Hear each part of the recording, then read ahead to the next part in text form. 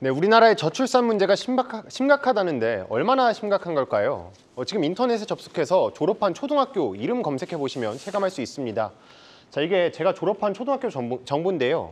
어, 제가 다닐 때만 해도 2,000명이 넘었는데 지금은 재학생 수가 총 300명이 되질 않습니다. 어, 전교생 수가 당시 한 학년보다 적은 셈인데요.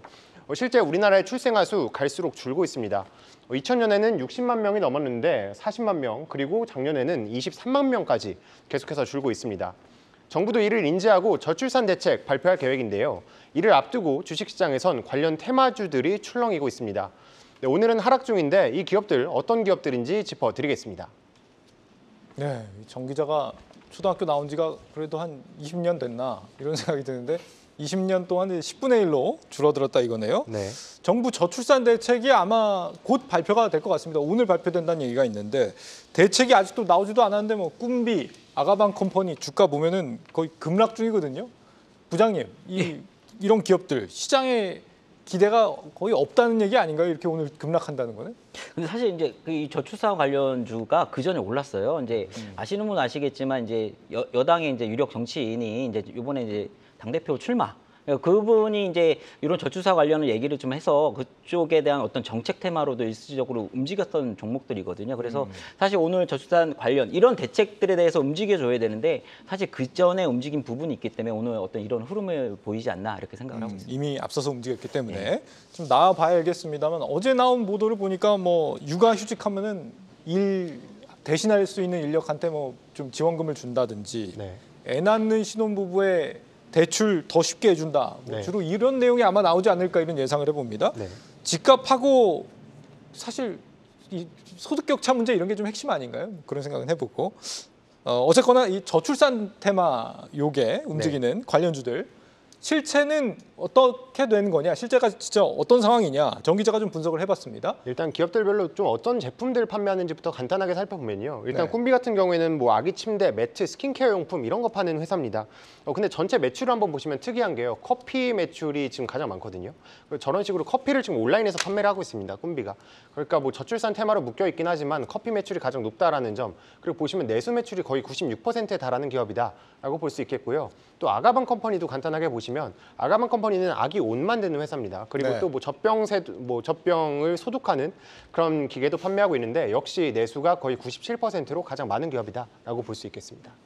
이 저출산 정책에 따라서 많이 좀 흔들리는 종목들인데 이왕이면 좀 실체가 탄탄한 쪽을 우리가 보는 게 낫지 않겠습니까? 실적들은 좀 어떤가요, 이 기업들? 네, 일단 이 기업들이 시가총액이 천억에서 이천억으로 좀 상대적으로 가볍다라고 볼 수 있고 그래서 변동성이 굉장히 큰데요. 이럴 때일수록 좀 실적을 보면은 먼저 꿈비 같은 경우에는 작년에 이 지금 적자로 돌아선 이후로 계속 적자가 이어지고 있습니다. 네. 어, 이게 뭐 아무래도 작년에 신제품을 개발하면서 조금 돈이 많이 들었다라고 하는데 어, 올해 내- 매출이 는 거는 지금 뭐 커피 매출이 가장 많은 비율을 차지하고 있고요.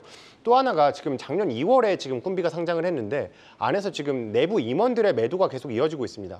이건 주주 입장에서는 상당히 좀 좋지 않은 소식이라고 볼 수 있겠고요. 아가먼 컴퍼니는 그래도 나름 이 실적이 괜찮습니다. 뭐 2021년에 지금 흑자로 돌아섰고 그 이후로 계속해서 뭐 매출, 영업이 계속 잘 나오고 있고요. 또 작년에 보시면 특히 1,860억 원 나왔습니다 매출이 그러니까 이 시가총액이랑 거의 비슷한 수준이라서 어, 충분히 괜찮은 기업 아닌가라고 볼 수도 있는데 사실 이게 기업 가치 분석할 때요 매출보다도 조금 이익을 좀 주로 봐야 되거든요. 네.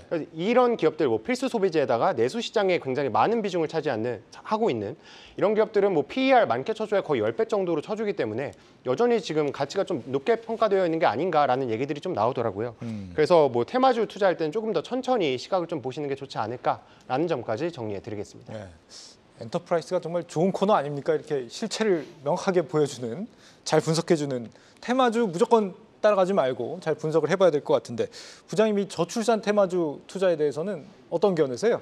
그참 학계 출산을 올해 한 0.6명이라고 하더라고요. 근데 1분기가 좋대요 출산율이. 왜냐하면 저연령 애들은 어, 개월수나 이 1년 차이 미만으로 이 성장이 확 차이가 나가지고 어, 가능하면은 저기 신혼부부분들이 이제 초에 연초에 이제 출산을 이렇게 계획하는 분이 많은데 네. 아무튼 상당히 좀 쇼크 수준인데 저는 뭐 이렇게 봐요. 그래서 어 아까 수출 이 부분이 조금은 뭐 수출처가 다양화돼야 되는 부분. 근데 사실 쉽지 않아요. 그러니까 자국산을 많이 쓰는 그러니까 엄마들이 부모님들이 자국산을 많이 쓰려고 하는 경향이 강하기 때문에 어 그런 부분. 그래서 일, 일단은 정부 정책이나 어떤 정치권 일정, 정치 이슈, 정치 일정, 정책, 선거 뭐 이런 거에 관련해서 더 일단 trading 매매가 맞지 않나라고 생각하고 있습니다. 지금 오늘 다루고 있는 꿈비와 아가방 컴퍼니 이 종목들은 투자해 볼 만한 게 맞습니까? 어떻게 보세요? 단기로 왜냐하면 어, 아까도 얘기했듯이 여당 그 전당대회가 당대표 선거가, 있기 때문에 그 일정 전까지는 아마 매매는 가능할 것으로 보입니다. 네, 감사합니다. 정 기자 어떻게 정리해 볼까요 오늘?